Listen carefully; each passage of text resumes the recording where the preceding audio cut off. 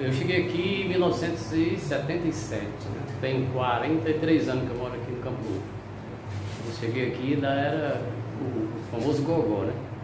E nessa época, quando eu cheguei aqui em 77, aqui a violência era bem, bem maior do que hoje. Houve muito crime, inclusive na época de 77 até 80, aqui houve cinco assassinatos de mulher. Mataram o marido, mataram a esposa. Ainda morre mas hoje quando acontece um crime hoje aqui no Campo Novo, é mais dessa turma jovem que se envolve pelo caminho errado, né?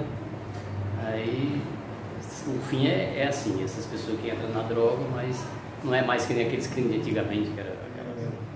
Você já teve a, a, alguém na sua família vítima da violência? Sim, meu sobrinho.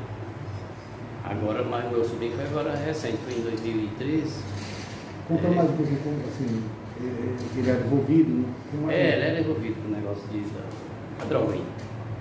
Eles mataram aí no sítio e tocaram fogo. Tocaram gasolina queimaram. Eu fui achar com cinco dias. Não acharam eu fui ver aí é, fazer o enterro dele. Aí ele era do meio. E vem modificando, tinha 5 mil habitantes naquela época, hoje tem 20. Desde essa época eu moro nesse mesmo endereço aqui, hoje o novo está mais, ou menos calmo, pode-se dizer.